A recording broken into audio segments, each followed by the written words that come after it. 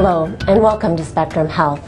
My colleagues and I are honored that you and your physician have chosen us to meet your nuclear medicine needs. Today, I will describe to you what occurs in the nuclear medicine department, show you some of our state of the art technology, and help prepare you for your upcoming appointment with us. Nuclear medicine provides doctors with information about body structure and function. It is a way to gather medical information that would otherwise be unavailable or require surgery or more invasive diagnostic tests. Nuclear medicine serves two primary functions. First, it is used to create highly detailed images of the inside of your body. These images help identify normal and abnormal cells and help to diagnose disease. Second, nuclear medicine is used to treat disease that has already been diagnosed, such as thyroid disease and certain forms of cancer. Imaging and treatment procedures use very small amounts of radioactive materials called radiopharmaceuticals. During an imaging procedure, we capture precise images of a specific area inside the patient's body. First, we introduce radiopharmaceuticals into the patient. Radiopharmaceuticals are chemicals called isotopes and are highly specific for each patient and each procedure. In most cases, the isotope can be used only for one patient and one study.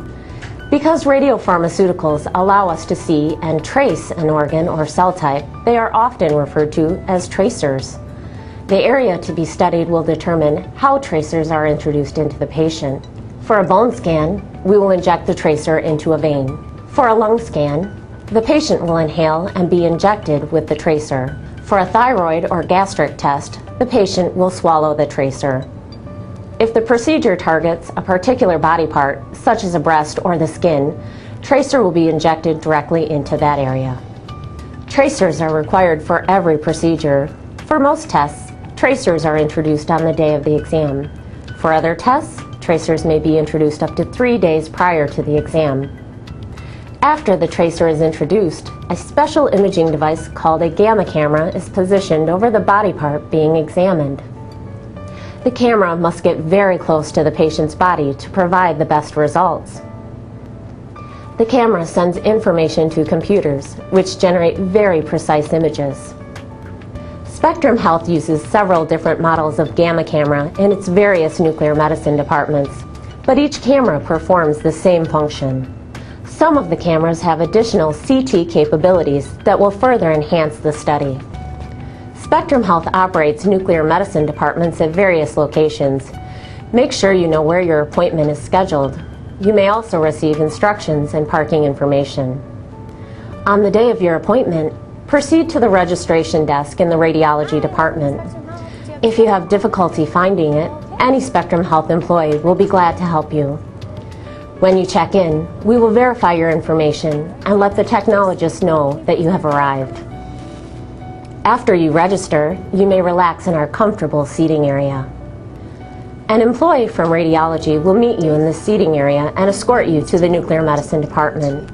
For your safety, we will check your wrist identification and confirm personal information such as your name and date of birth. Some patients prefer to bring a family member or friend with them to their appointment.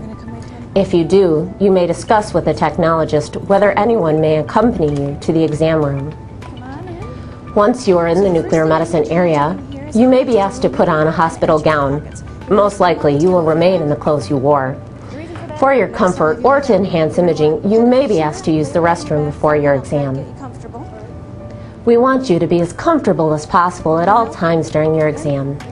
Blankets and cushions are available to improve your experience. The type of procedure your physician ordered will determine the length of your visit but it might be anywhere from 30 minutes to 4 hours. Also, please be aware that multiple visits may be required. Be aware that the type of equipment used during your exam may look different than this.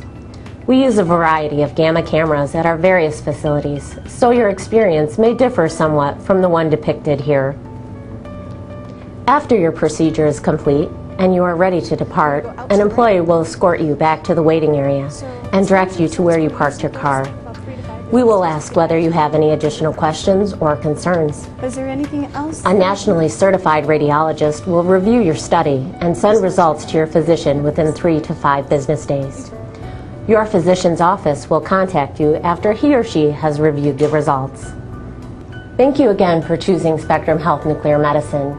If you have any questions or concerns, or if there's anything we can do to make your visit more comfortable, please don't hesitate to ask. My colleagues and I are pleased and honored to serve you.